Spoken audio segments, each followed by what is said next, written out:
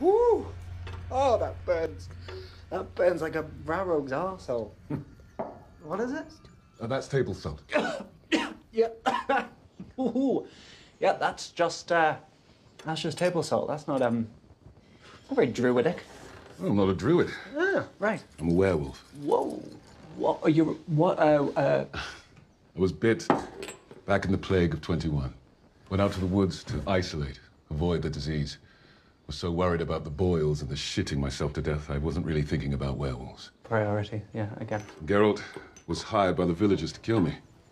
He found me a cure instead. Kept close to my chest. He keeps me safe. Oh. Almost got himself killed in the process, but he saved my life. Yeah. Seems about right.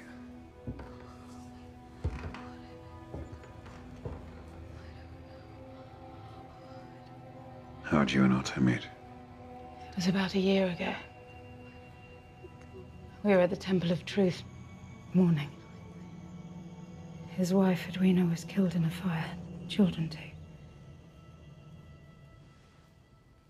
I was there for Fasana.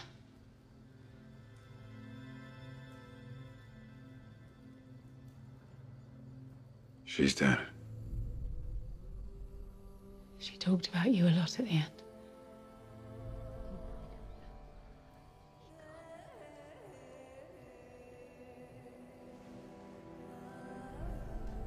Well, whoever did this fucked her up pretty good. It's a mind control enchantment. Mind control. So someone needs her to believe she's Ciri. It's extremely powerful. Elements of chaos, druidic magic, even some ancient elven sorcery in this spell. Oh, that's another thing. She's part elven. Maybe a couple of generations removed, but still. Poor girl's head's a tangled mess. Who would have the power to do something like this? I don't know anyone with the knowledge to do something like this. It would take lifetimes to acquire all these tricks. Whoever this mage is, they have quite a variety of interests. An extraction elixir. Well done, Otto.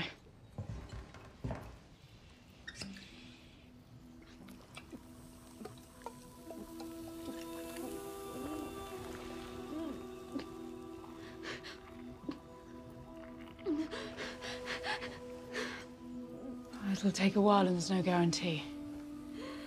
But if it works, she'll be able to tell us who did this to her. And what they want with Ciri.